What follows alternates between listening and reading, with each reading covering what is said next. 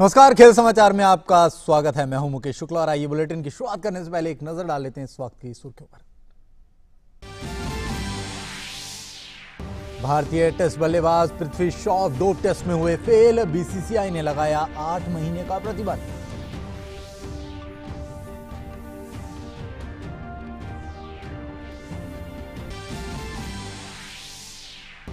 Thailand open badminton tournament में आज महिला एकल में साइना नेहवाल उतरेंगी कोर्ट पर। वहीं पुरुष वर्ग में पांचवी वरीयता प्राप्त किदाम्बी श्रीकांत पहले दौर में वैन पेंग बो से भिड़ेंगे।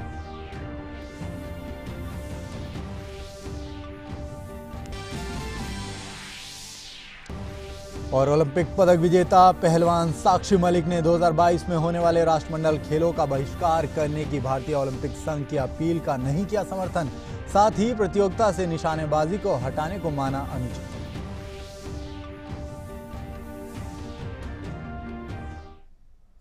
और खबर विस्तार से सबसे पहले बात पृथ्वी शॉ की करें तो बीसीसीआई ने युवा क्रिकेटर पृथ्वी शॉ को डोपिंग के दोषी पाए जाने के कारण आठ महीने के लिए सस्पेंड कर दिया है। बीसीसीआई की ओर से दी गई जानकारी के अनुसार शॉ ने अनजाने में एक प्रतिबंधित पदार्थ का सेवन कर लिया था, जो आमतौर पर खांसी की दवाई में पाया जाता है। हालाँकि शॉ का सस्पेंशन बीते मार्च से लागू होगा, यानी उनका ये सस्पेंशन 16 मार्च 2019 से 15 नवंबर 2019 तक लागू रहेगा।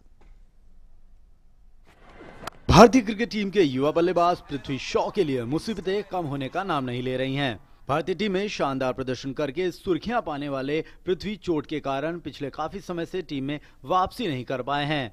अब वो डोप टेस्ट में फेल हो गए हैं, जिसकी वजह से उन्हें आठ महीने के लिए बैन कर दिया गया है। पृथ्वी शॉ को चोटिल होने की वजह से वेस्टइंडीज के खिलाफ भारतीय टीम में जगह नहीं दी गई है। उनका ये निलंबन 16 मार्च 2019 से शुरू हुआ है, जो 15 नवंबर 2019 तक लागू रहेगा। पृथ्वी शॉ के यूरिन सैंपल में जो प्रतिबंधित पदार्थ मिला है, उसका नाम टर्ब्यूटलाइन है। इसका इस्तेमाल कफ सिरप में किया जाता है। ये वाडा की प्रतिबंधित पदार्थों की सूची में शामिल है। बताया जा रहा है कि पृथ्वी शॉ ने अनजाने में प्रतिबंधित पदार्थ का सेवन कर लिया था, जिसके चलते उनका डोप टेस्ट पॉजिटिव पाया गया। ये दवाई आमतौर पर कफ सिरप में पाई जाती है। बीसीसीआई के मुताबिक 16 जुलाई 2019 को पृथ्वी शॉ को एंटी डोपिंग रूल्स वायलेशन और बीसीसीआई एंटी डोपिंग रूल्स की धारा दो के उल्लंघन का दोषी पाया गया। पृथ्वी शॉ ने इसके सेवन के इस्तेमाल की बात मानी है, लेकिन साथ ही कहा कि उन्होंने खांसी रोकने के लिए कफ सिरप का इस्तेमाल किया था। बोर्ड ने उनकी सफ़ाई को स्वीकार कर लिया है और माना कि शॉ ने शारीरिक क्षमता बढ़ाने के तौर पर नहीं, बल्कि खांसी रोकने के लिए इस प्रतिबंधित पदार्थ का सेवन किया है। हालाँकि इस मामले में सभी तरह से विचार विमर्श करने के बाद यह तय किया गया कि शॉ को लापरवाही बरतने के लिए आठ महीने का बैन झेलना होगा। उन्नीस वर्ष के युवा बल्लेबाज पृथ्वी शॉ ने टीम इंडिया के लिए अब तक दो टेस्ट मैच खेले हैं।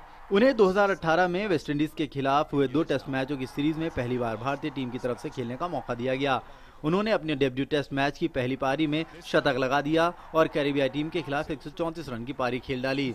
इसके बाद इसी टीम के खिलाफ उन्होंने टेस्ट मैच में 70 और नाबाद 33 रन की पारी खेली। यानी दो टेस्ट मैचों में उन्होंने एक की औसत से दो सौ सैंतीस रन बनाए। जिसमें एक शतक भी शामिल था।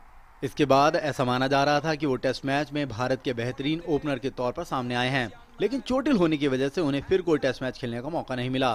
वेस्टइंडीज के खिलाफ उनका टीम में चयन तय माना जा रहा था, लेकिन वो चोटिल हो गए और एक बार फिर से वो टेस्ट टीम में जगह नहीं बना पाए। पृथ्वी शॉ के लिए पिछला एक साल उनके करियर के लिहाज से काफ़ी उतार चढ़ाव भरा रहा है। पिछले साल दिसंबर में ऑस्ट्रेलिया दौरे पर जब सबकी नज़रें उन पर थी, तभी अभ्यास मैच के दौरान फील्डिंग करते हुए वो गंभीर रूप से चोटिल हो गए थे। उन्हें फिजियो व स्पोर्ट्स स्टाफ मैदान से बाहर ले गए थे। इसके बाद लंबे समय तक वो मैदान से दूर रहे। Sports desk, DD news. वहीं ओलंपिक पदक विजेता साक्षी मलिक की नज़र अब 2020 में होने वाले टोक्यो ओलंपिक पर है। साथ ही 26 वर्षीय साक्षी का कहना है कि उन्हें पिछली बार से बेहतर प्रदर्शन करना है और अपने मेडल का रंग बदलना है लेकिन फ़िलहाल उनकी निगाह ओलंपिक के लिए क्वालिफाई करने पर लगी हुई है। के लिए ये है कि सबसे पहले तो क्वालिफाई करना है फिर पूरा एक साल होगा तैयारी के लिए और प्लान बनाएँगे कि कौन सी कंट्री में जाके ट्रेनिंग करें और आ, कौन से अपोनेंट्स आने वाले हैं किस किस कंट्रीज़ ने क्वालिफाई किया तो पूरा प्लान बनाएँगे। कई बार हमारा रेसलिंग ये है कि कई बार तो हम बिल्कुल कमज़ोर कंट्री से भी हार जाते हैं, कुछ टेक्निक की वजह से, या कई बार हम अच्छी कंट्रीज़ को भी हरा लेते हैं। तो बस यही है कि कोई टफ नहीं है, कोई कम, कमज़ोर नहीं है, बस अपना जाना है और वहाँ हंड्रेड परसेंट देना है बेस्ट करना है। थाईलैंड ओपन बैडमिंटन टूर्नामेंट में आज भारतीय खिलाड़ी अपने अभियान की शुरुआत करेंगे। महिला एकल में पिछले कुछ समय से चोट के कारण कोर्ट से दूर रहने वाली साइना नेहवाल अगले महीने होने वाली विश्व चैंपियनशिप से पहले लय में आने की कोशिश करेंगी। यहाँ पहले दौर में उनका सामना क्वालिफायर खिलाड़ी चाइवान के साथ होगा। वहीं पुरुष वर्ग में पांचवी वार्ता प्राप्त, किदाम्बी श्रीकांत पहले दौर में रैन पैंगबो से भिड़ेंगे, जबकि एच एस प्रणॉय के सामने हांगकांग के वोंग विंग की विंसेंट की चुनौती होगी। समीर वर्मा का सामना मलेशिया के लीजी जिया के साथ होगा। इससे पहले भारत की बैडमिंटन स्टार पीवी सिंधु ने थाईलैंड ओपन से अपना नाम वापस ले लिया था। सिंधु ने वर्ल्ड चैंपियनशिप की तैयारियों का हवाला देते हुए थाईलैंड ओपन से अपना नाम वापस लिया है। सिंधु के अलावा जापान की स्टार खिलाड़ी नोजुमी ओकुहारा, अकेना यामागुची और ताई जू यिंग ने भी थाईलैंड ओपन से अपना नाम वापस ले लिया है।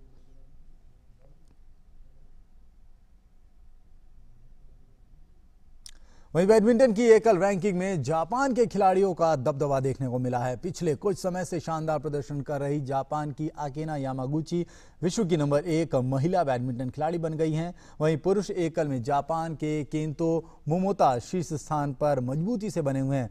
जापान ओपन के सेमीफाइनल तक पहुँचने वाले भारत के बी साई प्रणीत चार स्थान की छलांग के साथ टॉप ट्वेंटी खिलाड़ियों में शामिल हो गए हैं। भारत की पीवी सिंधु पाँचवें और साइना नेहवाल आठवें स्थान पर बरकरार है।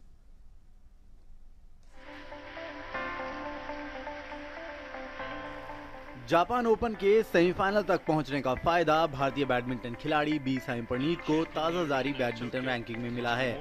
प्रणीत चार स्थान की छलांग के साथ मंगलवार को जारी रैंकिंग में शीर्ष 20 खिलाड़ियों में शामिल हो गए हैं। प्रणीत जापान ओपन के सेमीफाइनल में पहुँचने वाले एकमात्र भारतीय खिलाड़ी थे। इस प्रदर्शन से वह 19वें नंबर पर पहुँच गए हैं। प्रणीत इससे पहले इस वर्ष अप्रैल के शुरू में 19वें नंबर पर पहुँचे थे और इस तरह उन्होंने अपनी सर्वश्रेष्ठ रैंकिंग की बराबरी कर ली है। पुरुष वर्ग में भारत के किदाम्बी श्रीकांत अपने दसवें और समीर वर्मा तेरहवें स्थान पर बरकरार हैं। जापान ओपन के पुरुष एकल का खिताब जीतने वाले जापान के ही केंतो मोमोता शीर्ष स्थान पर मजबूती से बने हुए हैं। महिला एकल में पिछले काफ़ी समय से खिताब की तलाश में लगी स्टार खिलाड़ी पीवी सिंधु पाँचवें स्थान पर बनी हुई हैं। साइना नेहवाल शीर्ष दस में शामिल दूसरी भारतीय खिलाड़ी हैं, वो रैंकिंग में आठवें स्थान पर बरकरार हैं। रैंकिंग में जापान के खिलाड़ियों का दबदबा देखने को मिला पिछले कुछ समय से शानदार प्रदर्शन कर रही जापान की आकेनी यामागुची विश्व की नंबर एक महिला बैडमिंटन खिलाड़ी बन गई हैं। जापान ओपन की चैंपियन बनी जापान की यामागुची ने ताइपे के ताई जू यिंग को शीर्ष स्थान से हटाकर अपने करियर में पहली बार नंबर एक रैंकिंग हासिल कर ली जू यिंग अब दूसरे स्थान पर खिसक गई हैं। उन्होंने लगभग एक साल बाद जाकर अपना पहला स्थान गंवाया है स्पेन की कैरोलिना मारिन दसवें नंबर पर खिसक गई हैं। पुरुष युगल में सात्विक सिराज, रैंकी रेड्डी और चिराग शेट्टी दो स्थान के सुधार के साथ सोलह नंबर पर पहुँच गए हैं। जबकि महिला युगल में अश्वनी पुनप्पा और एनसिक्की रेड्डी दो स्थान गिरकर चौबीसवें नंबर पर खिसक गए हैं। विश्व युगल में पुनप्पा और रैंकी रेड्डी दो स्थान उठकर तेईसवें नंबर पर पहुँच गए हैं, जबकि प्रणव जेरी चोपड़ा और एनसिक्की रेड्डी दो स्थान गिर बाईसवें नंबर पर आ गए हैं। Sports desk D news. और अब बात टेनिस की करें तो शीर्ष भारतीय टेनिस खिलाड़ी प्रजनेश गुणाश्वरन ने ATP Los Cabos tennis tournament में जीत के साथ आगाज़ किया है। दुनिया के नब्बे नंबर के बाएँ हाथ के खिलाड़ी प्रजनेश ने सड़सठवें नंबर के ऑस्ट्रेलिया के जॉन मिलमैन को छह चार एक छः छह दो से हराया। यह मुकाबला एक घंटे और उनचास मिनट तक चला। प्रजनेश ने सोलह ब्रेक पॉइंट में से पाँच का फ़ायदा उठाया। उन्होंने अपनी सर्विस पर सात में से तीन ब्रेक पॉइंट भी बचाए। और खेल समाचार में यहाँ रुक एक छोटे से ब्रेक के लिए कहीं जाएगा नहीं ज़्यादा ज़रूरत